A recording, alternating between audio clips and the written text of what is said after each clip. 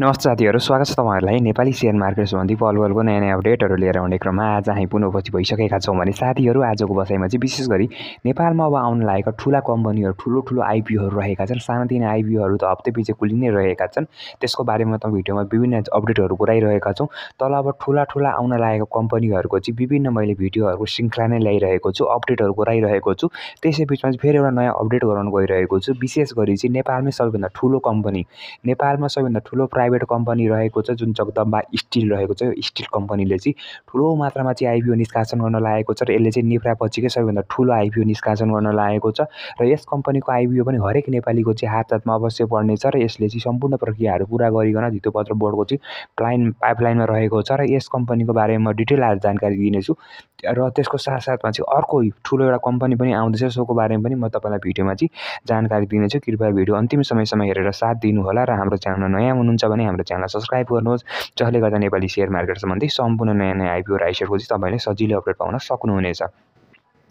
साथीहरू अब कुरा गरौँ नेपालकै सबैभन्दा ठुलो प्राइभेट संस्थानहरूमा चाहिँ सबैभन्दा ठुलो कारोबार गर्ने कम्पनी भनेर चाहिँ एनसेल कम्पनीलाई चिन्ने गरिन्छ। तर एनसेल कम्पनीलाई पनि यसलाई चाहिँ पिछा पारेर चाहिँ त्यसलाई पछाडि पारेर चाहिँ अहिले एउटा जगदम्बा स्टिल कम्पनीले चाहिँ हाम्रो नेपालकै सबैभन्दा ठुलो प्राइभेटमा कारोबार गर्ने कम्पनीको रूपमा चिनिएको रहेको छ भने यसले चाहिँ होइन तपाईँको पचासौँ अर्ब रुपियाँ वार्षिक रूपमा चाहिँ पचासौँ अर्ब बराबरको चाहिँ कारोबार गर्ने गर्दछ जुन जगदम्बा स्टिल रहेको छ। र यस कम्पनीको बारेमा तपाईँलाई डिटेल जानकारी त दिने नै छु। र यसले पनि अब फाइनली चाहिँ आइपिओ निष्कासन गर्ने भनेर धितोपत्र बोर्डमा चाहिँ पाइलटमा दिनुभएको छ। र नेपालमा चाहिँ के रहेको छ भने नेपालमा दुई हजार कम्पनी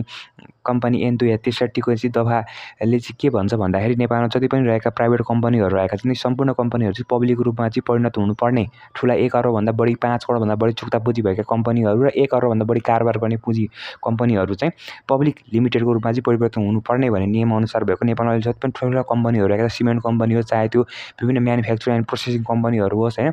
आदि थुप्ला होटेलहरू विभिन्न चेन कम्पनीहरू चाहिँ आज के भएछन् विभिन्न दिनमा चाहिँ पब्लिकको रूपान्तरण भइरहेको छ। त्यसै अन्तर्गत चाहिँ जगदम्बा स्टिल भनेको जुन हाम्रो जितपुर बाह्रमा रहेको छ यसको उद्योग चाहिँ यसको चाहिँ करिब तेइस लाख टन चाहिँ उत्पादन क्षमता रहेको छ। यो चाहिँ एकदम ठुलो कम्पनी पनि रहेको छ भने चाहिँ नेपालको सबैभन्दा ठुलो हायर ट्याक्स कन्ट्रिब्युसन संस्था पनि हो किनकि नेपालको प्राइभेट संस्थाहरूमा सबैभन्दा बढी ट्याक्स दिने कम्पनी अन्तर्गत पनि यो कम्पनी पर्दछ। र यसले चाहिँ फाइनली चाहिँ आइपिओ निष्कासन गर्ने भएको छ र यस कम्पनीले करिब दुई करोड सत्तरी हजार किता चाहिँ आइपिओ निष्कासन गर्ने भएको छ। दुई करोड सत्तरी हजार किता जुन चाहिँ रु. सय रुपियाँ अङ्कित दरमा एलएन प्रिमियम मूल्यमै आइपिओ निष्कासन गर्ने भएको छ। यस कम्पनीले रु. सय रुपियाँ अङ्कित दरमा करिब तिन सय रुपियाँ चाहिँ प्रिमियम दुई सय रुपियाँ प्रिमियम थपेर तिन सय रुपियाँमा चाहिँ प्रत्येक किता तिन सय रुपियाँको दरमा चाहिँ यस कम्पनीले चाहिँ आइपिओ निष्कासन गर्ने भएको छ। र यस कम्पनीले चाहिँ कुल करिब छ अर्ब एक्काइस लाख मूल्य बराबरको चाहिँ आइपिओ निष्कासन गर्ने भएको छ जुन चाहिँ अत्याधिक मात्रामा चाहिँ लगानीकर्ताहरूलाई पर्नेछ। करिब छ अर्ब एक्काइस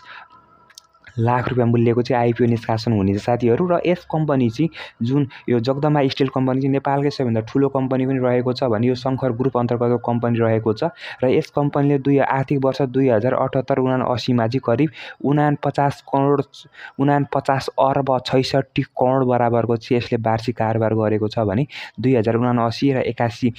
असीमा चाहिँ दुई हजार उना असी असीमा चाहिँ यस कम्पनीले करिब चालिस अर्ब रुपियाँ चाहिँ यस कम्पनीले वार्षिक कारोबार गरेको छ। किनकि यो समयमा चाहिँ विभिन्न आर्थिक मन्दीको कारणले गर्दाखेरि चाहिँ यस कम्पनीको आर्थिक अवस्था चाहिँ केही रूपमा चाहिँ कारोबारहरूमा चाहिँ केही समस्या आए तापनि यस कम्पनीले चाहिँ अब आउने वर्षमा चाहिँ करिब पचास अर्बभन्दा चाहिँ बढी कारोबार गर्ने भनेर चाहिँ यस कम्पनीले आफ्नो लक्ष्य राखेको छ भने चाहिँ यस कम्पनीले चाहिँ हाल चाहिँ वार्षिक एक अर्ब रुपियाँको बराबरको चाहिँ दस अर्ब रुपियाँ चाहिँ यो वर्षमा चाहिँ दस अर्ब रुपियाँ चाहिँ वार्षिक प्रति महिना एक अर्बको दरले चाहिँ निर्यात गर्ने भनेर पनि लक्ष्य राखेको छ। यस कम्पनीले चाहिँ विभिन्न किसिमका चाहिँ जुन जस्तापाताहरू रहेका छन् विभिन्न मेटल सामानहरू रहेका छन् स्टिल कम्पनीका जुन विभिन्न विभिन्न पाट पूर्जाहरू रहेका छन् त्यो चाहिँ भारत र दक्षिण अफ्रिका र विशेष गरी चाहिँ अन्य उत्तर अमेरिका जस्ता देशहरूमा निर्यात गर्ने भनेर लक्ष्य राखेको छ र यसले वार्षिक दस अर्ब रुपियाँको त वार्षिक निर्यात गर्न सक्ने भनेर चाहिँ नेपालकै सबैभन्दा ठुलो कम्पनीको जुन आइपिओ आउँदैछ यो आइपिओ चाहिँ एकदम अहिलेको अवस्थामा के होला विदेश मार्केट त भन्न सकिँदैन तर भोलि पर्सि हाम्रो बुल मार्केटमा चाहिँ प्राइभेट कम्पनी भनेको नेपालको चर्चित घरनाहरूको चाहिँ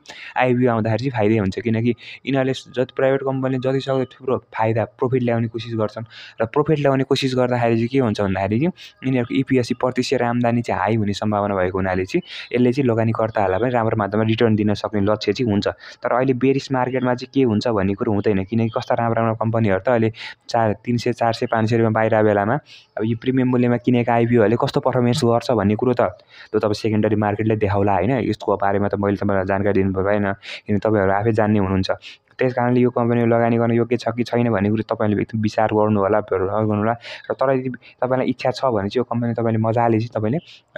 बिस लाखजना नेपाली लगानीकर्ताहरूले भरे पनि सबैलाई दस किताब पढ्नेछ होइन। तर अहिले हाल चाहिँ करिब तेह्रदेखि पन्ध्र लाखको बिचमा चाहिँ आवेदन पढ्ने हुनाले चाहिँ यस कम्पनीमा चाहिँ तपाईँले बिस किताब दिँदा चाहिँ एकदम उपयुक्त हुनेछ। यो कम्पनीमा चाहिँ बिस किताब आवेदन दियोस् सहजै। लगभग लगभग तपाईँलाई दस लाख जतिलाई चाहिँ बिस किताब पढ्ने सम्भावना हुनेछ भने चाहिँ त्यस कारणले चाहिँ करिब तपाईँलाई तेह्र लाखजना जति लगानीकर्ताहरूलाई चाहिँ दस किताब पाउने सम्भावना हुनेछ भने बाँकीले चाहिँ बिस किताब पाउने सम्भावना हुने र बिस किताबसम्म चाहिँ आवेदन ठिकै हुनेछ। यसमा तपाईँले दस किताबको आवेदन दिन चाहिँ करिब तिन तिन हजार रुपियाँ चाहिँ खर्च गर्नुपर्ने देखिन्छ। जुन चाहिँ अत्याधिक मात्रामा धेरै पनि हो तर धेरै हुँदाखेरि पनि अब यो राम्रो कम्पनी भएको हुनाले चाहिँ अब तपाईँको लागि यसले सेकेन्डरी मार्केटमा कस्तो पर्फर्मेन्स गर्छ भन्ने कुरो चाहिँ अब हामीले त्यो कारोबारले देखाउला होइन। तर यस कम्पनीमा चाहिँ आवेदन दिँदाखेरि तपाईँले यदि क्षमताले भ्याउँछ राम्रो लाग्छ भने दिनु होला होइन। नदिनु मन लाग्यो नदिनु होला त्यो तपाईँको व्यक्तिगत इच्छाको कुरा हो साथीहरू त्यसै गरी अब ठुलो कम्पनीको पनि आइपिओ आउँदैछ जुन चाहिँ डिस होल्ने नेपाल कम्पनीको पनि रहेको छ। र यस कम्पनीले चाहिँ असार बाह्र दुई हजार असीमा चाहिँ यस कम्पनीले पहिलाको भन्दा चाहिँ यसले फेरि थपेर किता थपेर चाहिँ आइपिओ निष्कासन गर्न लागेको छ। यस कम्पनीले आजभन्दा करिब तिन वर्ष अगाडि चाहिँ दुई हजार सतहत्तर साल असार तिस गते नै आइपिओ निष्कासन गर्न भने आवेदन दिएको थियो। सो समयमा चाहिँ यस कम्पनीले करिब तेइस लाख पचासी हजार नौ सय बाइस सिता चाहिँ आवेदन दिएको थियो किताको निष्कासन। तर यस कम्पनीले चाहिँ हाल चाहिँ करिब एक करोड एघार लाख किता चाहिँ थप गरेर अहिले चाहिँ करिब एक करोड पैँतिस लाख चौरासी हजार नौ सय पचपन्न किता चाहिँ यस कम्पनीले आइपिओ निष्कासन गर्न लागेको छ। राम्रो कुरा चाहिँ के रहेको छ भने यो कम्पनीले रु सय रुपियाँ अङ्कित दरमा नै आइपिओ निष्कासन गर्न लागेको छ भने चाहिँ यस कम्पनीले करिब एक अर्ब पैँतिस करोड मूल्य बराबरको चाहिँ आइपिओ निष्कासन गर्न लागेको छ र यसको क्यापिटल रूपमा चाहिँ प्रभु क्यापिटल लिमिटेड रहेको छ र यस कम्पनी दुई हजार दसमा स्थापना भएको हो भने चाहिँ यस कम्पनी चाहिँ हाल डिटिएच प्रोभाइडर होम टिभी र डिस होम टिभीसँग चाहिँ यस कम्पनीले चाहिँ मर्च गरेर चाहिँ यस कम्पनीको मुख्य चाहिँ च्यासीकोट भैँसीबारी ललितपुरमा रहेको छ भने चाहिँ यस कम्पनीको मुख्य लगानीकर्ता चाहिँ San Martin international holding company SMT चाहिँ यसको मुख्य सेयर होल्डरको रूपमा रहेको छ। र यो कम्पनी चाहिँ नेपालकै सबैभन्दा ठुलो डिटिएच प्रोभाइडर कम्पनी पनि हो र हाल यस कम्पनी व्यापक रूपमा चाहिँ नेपालभरि नै आक्रामक रूपमा चाहिँ इन्टरनेट सेवा पनि प्रोभाइडर गरिरहनु भएको छ। फाइबरवाला इन्टरनेट सेवा चाहिँ हरेक प्रत्येक सहर सहरमा चाहिँ एकदम आक्रामक रूपमा चाहिँ यसले व्यापार अगाडि बढाइरहेको छ। र यस कम्पनीको चाहिँ म्यानेजिङ डाइरेक्टरको रूपमा चाहिँ मिस्टर सुदीप आचार्य हुनुहुन्छ। भने चाहिँ यस कम्पनीको हाल चेयरम्यानमा चाहिँ मिस्टर हेमराज ढकाल चाहिँ यसको कम्पनीको चाहिँ चेयरम्यानको रूपमा रहनु भएको छ र यस डिसोम नेपालको चाहिँ हाल करिब असीभन्दा बढी चाहिँ यस कम्पनीको जुन शाखाका डिस्ट्रिब्युटरहरू रहेको छ भने चार हजार चाहिँ सब डिलरहरू रहेको छ भने करिब एक हजारभन्दा बढी चाहिँ रिचार्ज सेन्टरहरू रहेका छन् र यस डिस होम कम्पनीले पनि रु सय रुपियाँ अङ्कित दरमै आइपिओ निष्कासन गर्न लागेको छ र करिब एक अरब एक करोड पैँतिस लाख कि त आइपिओ निष्कासन हुने भएको हुनाले चाहिँ सजिलै करिब बाह्रदेखि तेह्र लाखजना लगानी गर्दाहरूले सजिलै दस किताब आउने हुनेछ र यो पनि द्वितीयपद बोर्डको चाहिँ अन्तिम तयारीमा रहेको छ र यसले पनि अब आउने दसैँ तिहारपछि लगत्तै नै यस कम्पनीले पनि आवेदन पाउनेछ र जगदम्बा स्टिलले दुइटै कम्पनीहरू चाहिँ दसैँ तिहार पछि आउने सम्भावना चाहिँ एकदम रहेको छ। र तपाईँहरूको के रहेको यसमा जानकारी कृपया तल कमेन्ट गर्नु होला भिडियो हेरेर साथ दिनुभएको धेरै धन्यवाद।